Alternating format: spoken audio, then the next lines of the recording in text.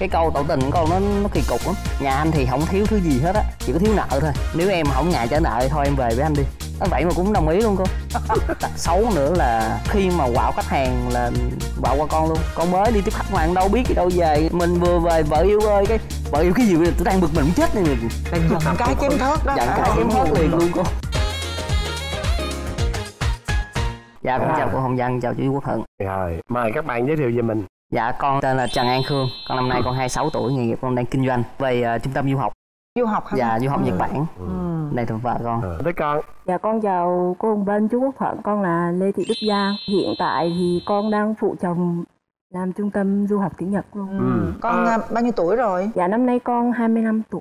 Là nhỏ hơn chồng một tuổi. dạ Dạ. đúng rồi Các bạn là làm chỉ có là du học ở Nhật Bản thôi. dạ đúng rồi dạ tụi con là tại vì ờ, con với vợ con đều đi du học ở nhật bản hết Nha, như vậy là chắc bạn là các bạn là có có có cái mối tình của các bạn là bắt đầu từ Bên Nhật. ở đất nước Nhật Bản đúng không? dạ đúng rồi chú quốc cái cơ duyên nào mà các bạn biết nhau? Dạ ngày xưa thì lúc mà đi du học thì tụi con đi làm thêm á Vợ con với con thì làm chung một cái công ty thì cũng là một công ty vận chuyển. Con là quản lý của vợ con. Mà lúc đó vợ con ghét con lắm. Tại vì con là quản lý mà nên là nó phải nói nhiều. Ở cấp trên họ, khi mà họ nói cái gì thì con phải dịch xuống và con truyền đạt cho anh em người Việt. Vợ con lại nói con nói nhiều quá. Nhưng mà cái lúc mà đầu tiên mà con gặp vợ con ờ, ở đó đó thì con đã có ấn tượng với vợ con liền chưa?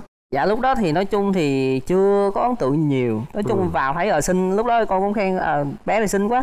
Đi ngang con đó vậy xong rồi vợ lại nói với mấy cái chị mà làm chung là con dẻo miệng quá. Dẻo miệng nói Dẻo miệng. À, lúc đó là miệng. con cảm xúc con đối với chồng con như thế nào? Rất là ghét luôn á cô. Từ trước giờ là con không có thích con trai kiểu mà nó nhiều mà miệng dẻo. Nói chung là gặp ai cũng khen, gặp ai cũng này kia này kia. đãi bôi đó phải không gặp Dạ. ai đãi bôi Gặp ai cũng khen được hết. Nói chung là Ừ. không phải mình con đâu mà nhiều người khác luôn. Vậy- Vậy thì sao mà lại có cảm tình với nhau? cái thời gian mà làm chung đó là con có người yêu rồi sau khi mà con tốt nghiệp con đi làm ở nơi khác thì con nghỉ công ty đó thì bạn này cũng nghỉ nhưng cái thời gian đó là con chia tay người yêu thì bạn này cũng chia tay người yêu cũng đang buồn À, là rồi. Giang cũng có người yêu ờ, Dạ. Lúc đó là chồng con với người yêu của chồng con là làm chung trong đó. Còn con với người yêu của con cũng ở trong Nhật Bản nhưng mà yêu xa. Rồi đến lúc là nghe là bên này cũng chia tay Bên này cũng chia tay dạ Hai tâm hồn trống rỗng gặp nhau dạ cái lúc đó thì vợ con có đăng story nói chung là cái kiểu như là cần đời không nó không tin vào đàn ông được. Con mới nhắn tin chọc chọc thôi. Đàn ông tụi anh tốt lắm em sao mà lại không tin? Đó thì từ đó bắt chuyện nói chuyện với nhau xong vài lần. Rồi tụi con mới hẹn à, gặp à, đi chơi. Con với vợ con là cách nhau 2 tiếng đi tàu lận. Thì cái lần đầu tiên mà con hẹn là con cho vợ con chờ 2 tiếng.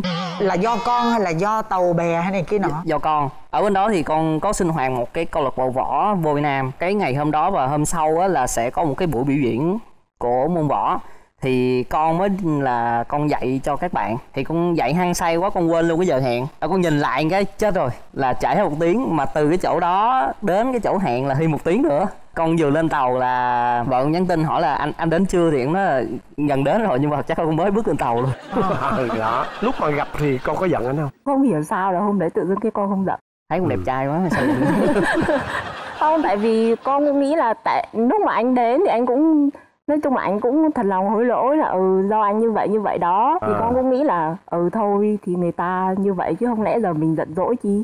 Tại vì Ừ. cũng gặp chỉ là gặp mặt vậy thôi chứ không có ý định gì cả. Mấy ngày đó là mình xui lắm cô. Đi tới quán nào quán đó đóng cửa à. Xong rồi cuối cùng là lên một cái quán cà phê. Thì hai đứa cũng ngồi nói chuyện với nhau Tâm sự với nhau. Nói chung là cũng không có nói nhiều về cái chuyện tình cảm Hầu hết là chia sẻ với nhau về gia đình. Sau cái buổi gặp mặt đó là chắc chắn là các bạn có nghĩ về nhau đó Con thì ấn tượng với vợ con nhiều hơn. Rồi xong bắt đầu là con lên kế hoạch đeo đuổi. Nói lên kế hoạch thì cũng không có kế hoạch gì nhiều. Hàng ngày thì nhắn tin. Tại vì ờ, con thì cũng khá tiếng Nhật á. Bạn này cứ không biết gì bắt đầu con nhắn tin con chỉ. À. Đó, chỉ xong rồi ờ, con hẹn. Để em Dạ. dạy tiếng nhật cho đúng tỏ đúng rồi để con dạy tiếng nhật cho.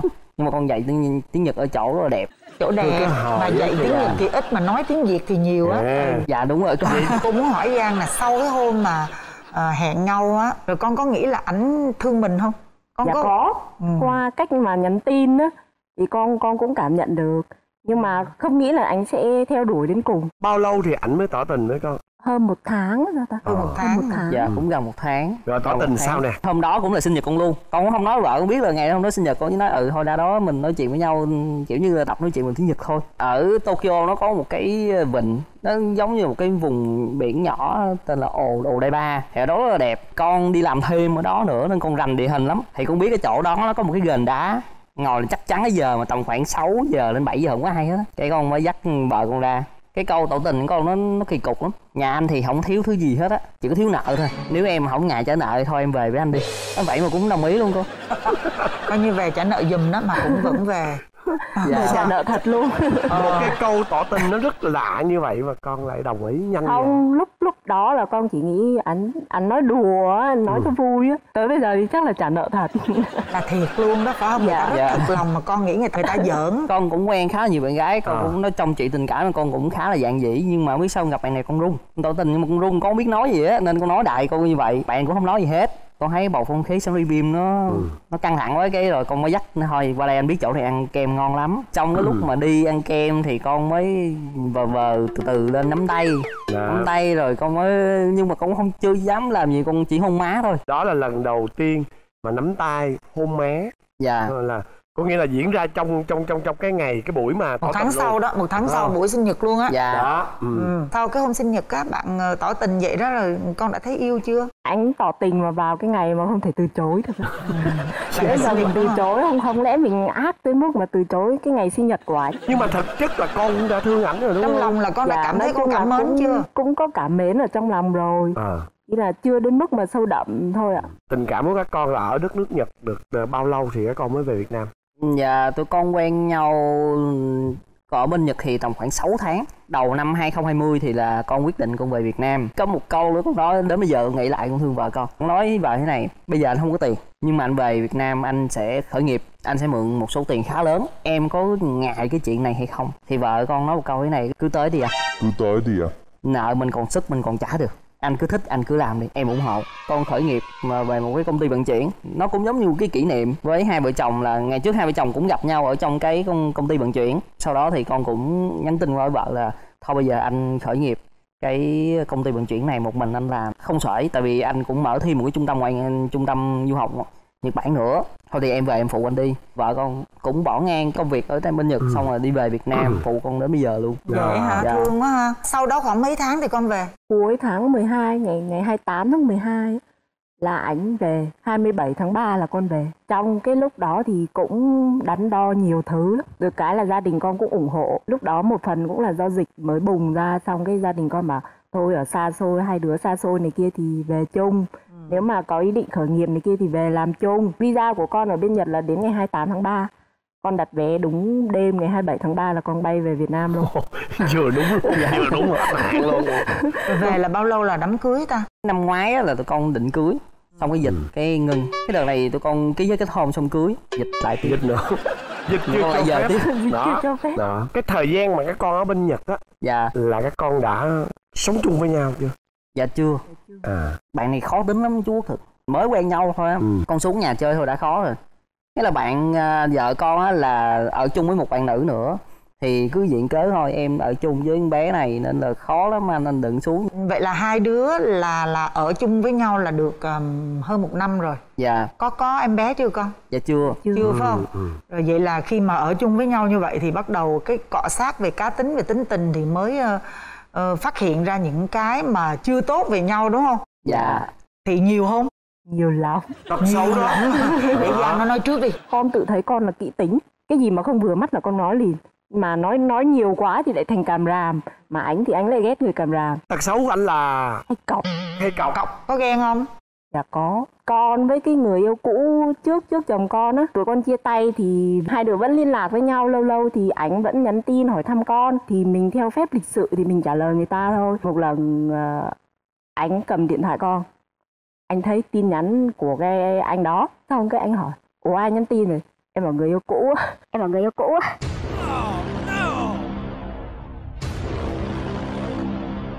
xong cái ổng không nói gì hết. Hôm sau thấy facebook xóa bạn luôn.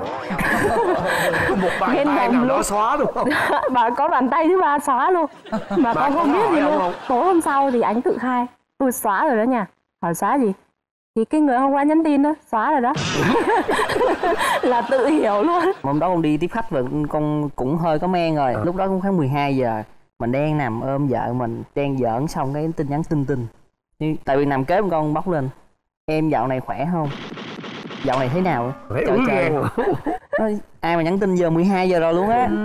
Xong cái đó con số tin nhắn luôn. Người yêu cũ của em đó. Người yêu cũ thì biết là người yêu cũ rồi. Dạ. nhưng mà đã cũ rồi thì thôi. Còn nếu lịch sự tối thiểu thì mình sẽ nhắn tin vào những cái lúc buổi sáng hoặc là ờ, thi thoảng có việc gì lắm á, thì mình hãy nhắn thôi Không chứ đâu có ai mà nhắn vào ban đêm. Cô là cô cô ủng hộ cái việc mà không đồng ý. Cô là cái gì xong là thôi. Còn tật xấu gì nữa nè hay quên. Anh kêu với con là anh để đồ ở đâu thì cứ để yên đó. Đừng có đụng đừng có di chuyển đừng có mang nó đi đâu hết. Mình nhìn thấy thì mình thấy dơ nhà bừa bộn thì mình dẹp đi. Cái tới hồi anh kêu là cái này ở đâu? Cái này ở kia. Rồi anh hỏi tùm lum lên hết rồi cuối cùng con dối con cũng không nhớ là con để đâu luôn. Thế xong hai đứa quạo vì một cái chuyện mà rất là nhỏ. Có một lần anh uh, tìm đôi giớ anh đi tiếp khách anh tìm đôi giớ xong cái anh hỏi anh anh ra anh cầm đôi giớ rồi anh hỏi là dơ dơ quá dơ cái con bảo, thì anh kêu để đâu thì em để nguyên đó đó, em đâu có dẹp đi đâu đâu. Là con không giặt, không gì luôn, con để nguyên đó luôn. Lần sau sờ vô là tự hiểu, là từ lần đó là đi là mang về, đi đâu về, quần áo này kia là tự biết để vào là con sẽ gom đi con giặt. Nhiều khi anh cũng quên á. Đồ của anh, giấy tờ hay là bút viết hay hồ sơ này kia anh để cái lúc mà anh cần là cái lúc, trong cái trạng thái mà anh đang bực bội hoặc là làm sao đó rồi anh tìm không được anh quạo hết luôn anh quạo cả con quạo cả cái bạn làm cùng con ở công công ty á. Tại vì ở cái cái văn phòng đó là tụi con làm chung á. Cái quạo hết cả văn phòng lên. Rồi sẵn con nói luôn cái mong muốn thay đổi ờ, của chồng con đi. Con chỉ có một mong muốn duy nhất là anh bớt cọc lại cô còn nghĩ cái đó cũng là đúng đó. Trong mấy cái tật xấu mà kể ra thì có cái cọc á là cái mà nên sửa nhất thôi. Giờ chắc đâu có ghen với ai nữa đâu đúng không? Không cái ghen vậy là đúng em ơi. À. chị ngồi vậy chị cũng vậy à. Mà bây giờ bây giờ có có ghen cũng đâu có gì đâu nữa ghét đâu đâu dạ ghen. đúng rồi từ bữa đó xong rồi giờ rất yên bình. Bình Dạ. yên. rồi. Bây giờ tới con. Đó. gió đổi chiều. Giờ tới con rồi đúng không? Ừ, tới con đó. Thanh niên này gọi là kỹ tính cực kỳ. Chỉ có một cái duy nhất là càm ràm hơi nhiều. Nói một câu chuyện mà nói từ sáng tới chiều từ chiều tới tối lúc đi ngủ vậy thôi. Tật xấu nữa là khi mà quạo khách hàng là quạo qua con luôn. Con mới đi tiếp khách mà đâu biết gì đâu về mình vừa về vợ yêu ơi cái vợ yêu cái gì vậy? tôi đang bực mình chết này mình là giận cái chém thớt đó. Giận không? chém hết liền luôn. cô ghen thì cũng không ghen. Con cũng có điều lạ không? Vợ con facebook của con zalo con rồi mật khẩu điện thoại gì cũng biết hết mà không bao giờ kiểm tra. Nhiều khi hỏi ô bà không ghen hả? Nói ôi cái gì của tôi là của tôi à? Con vậy là quá hay luôn á. Ủa nhưng mà cổ có ghen với người yêu cũ con có. Gì đã có rồi? Có nhắn tin đồ này kia không con? Sao đâu? Con kiểu như con hay mua vui á con hay cà khịa ảnh thôi. Chứ ảnh thì anh không có nhắn với người yêu cũ. À. ủa cà khịa sao? Có nghĩa là ngày xưa á, con bị cắm sừng á con cô Ờ. Vân thì suốt ngày ví dụ như mà đi coi clip ai đó cũng bị như vậy á ta? Đó ai đó cũng bị vậy á. Gặp quê đó chọc quê con? có một đứa em. Khi mà nó có cái chuyện về tình yêu này kia thì em con cũng tham vấn cho nó xong cái vợ quay qua ông ngày xưa cũng bị cắm sừng đó. Cứ đem cái chuyện đau đau thương của mình ra mà tròn mình đúng không? Dạ đúng rồi. Ông chị bảo cho người ta hàng chi ngày xưa ông bị y vậy mà kinh nghiệm đâu mà ông chỉ đó. Dạ, kiểu- kiểu vậy đó. mà. Mỗi lần vậy thì có bực không? Cười thôi đâu là thấy nó vui? đâu. hay là thấy nó vui? Nó cũng vui tại vì cà khịa đi nó thấy nó cũng bình thường á, chú thuận con cái có một kỳ ghen vui lắm cô vân. Tối đang ngủ ba bốn giờ sáng gì đó tự nhiên cái quánh con dậy chát. Con tưởng đâu gì gì vợ gì vậy gì vậy gì vậy? Ông ngủ với con nào tôi mới thấy ông ngủ với con kia mập lùn xấu lắm. Trời. Trời ơi. Cái này là mơ hả hay gì? Nằm mơ. Cái này là ghen. Trong mơ là ghen trong mộng đó. Ghen trong mơ. ơi mộng ghen đó. Đó còn quay qua đánh. Nhưng mà ghen thấy là thấy trong giấc mơ. Mà đánh là đánh thiệt. Đánh thiệt. Đánh một cái chát luôn con dậy cũng đâu biết gì đâu. À. vợ con mà ngủ á không bao giờ cho con đụng. Đụng cái là thức giấc đụng Đúng cái là rồi. thức giấc. Chắc là con ngủ tỉnh lắm phải không? Dạ. Ờ. tại con từ trước giờ thì con con hay ngủ một mình á không có thích ngủ Quen chung rồi. với ai hết? Mà kiểu nhiều khi động đậy tiếng động mạnh hoặc là ai đụng vô người là tự dưng cái tỉnh giấc. Mà tỉnh giữa đêm thì khó ngủ lại. Lâu À. lâu anh quay qua chẳng hạn anh vô tình đụng tay vô người thôi là thấy bực bội rồi. Tại vì lúc đó tỉnh lên là không ngủ lại có được. những người phụ nữ vậy đó em ơi. Ừ, cái đó khó quen lắm. Con sẽ quen khi mà con có một đứa con rồi con ngủ với nó riết rồi á con sẽ phải quen với cái việc đó. Thì sau đó là tới chồng con được hưởng sái đó được ké đó. Lúc đó con mới ké được nha con nha. con- rồi con có mong muốn vợ con thay đổi điều gì không? Vợ con thì hiện tại giờ con thấy khá là hoàn hảo trừ cái mà hay dặn cá cầm ràm đúng không? Cầm ràm với dặn cá chém hớt được mà đúng không? Yeah. Dạ. được không? À. nói chung hai đứa con là mới đây mới ờ, sơ- gọi là cọ sát với nhau đúng không? Ừ. thành ra chắc chắn là sẽ có những cái ừ, nó sẽ còn phải nảy sinh nhiều thứ nữa nhất là khi có con á. Cho nên theo cô thì tụi con nên gọi là những cái gì mình có thể sửa được cho đối phương của mình cảm thấy vui thấy hạnh phúc thì mình làm nha. Dạ, rồi cảm ơn, cảm cảm ơn hai đứa. Con cảm ơn. cô chú